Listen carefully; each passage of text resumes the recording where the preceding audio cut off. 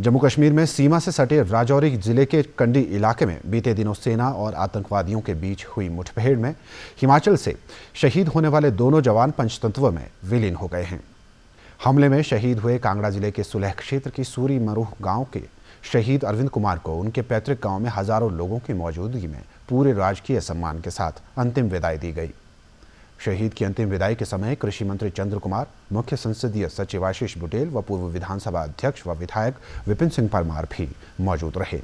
इससे पहले आज सुबह शहीद अरविंद कुमार की पार्थिव देह जब उनके पैतृक गाँव पहुँची तो माहौल पूरी तरह गमगीन था और भारत माता की जय अरविंद कुमार अमर रहे के नारों से पूरा क्षेत्र गूंज उठा देखिए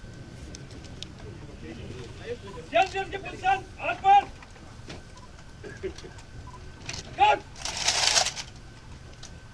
Hayır!